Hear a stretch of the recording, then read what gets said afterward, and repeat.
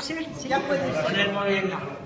Pues quiero, quiero aprovechar la oportunidad para hablar de la familia. La familia se está destruyendo. Es imposible. Tenemos que luchar cada uno y poner nuestro esfuerzo para que no surja.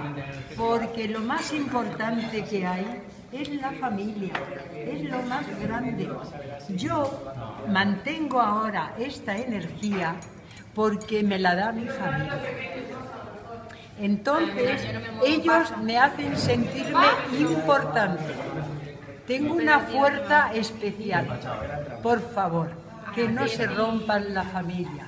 Cuidarlas como podáis y ser generosos y luchar para que cada uno se ayude y la familia siga manteniendo el lugar tan importante que es el.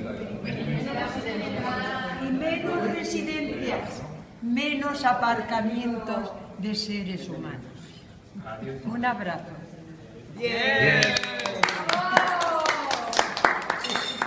Ella repite lo que